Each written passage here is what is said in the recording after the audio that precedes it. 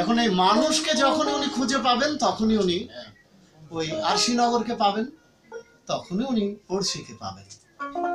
লালন ফকির বলছেন যে, সে আর লালন একখানে নয়, কিন্তু লক্ষ যোজন ফাঁকরে আশা করি আমি বোঝাতে পেরেছি।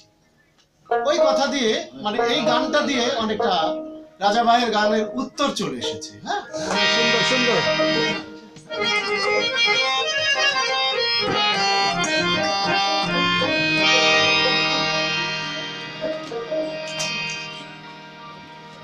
আমি যারে বাসি।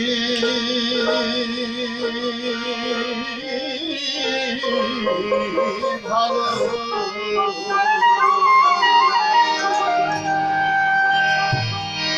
সে কি তা জানে